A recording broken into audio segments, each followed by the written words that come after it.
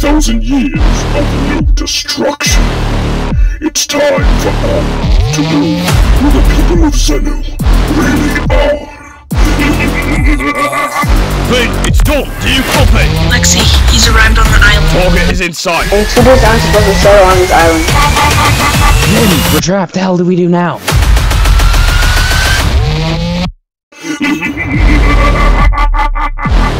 you are nothing!